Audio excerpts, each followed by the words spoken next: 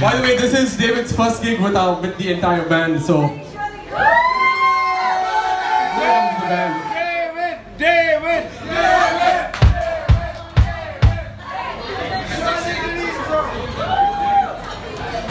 चल घर चलते हैं यार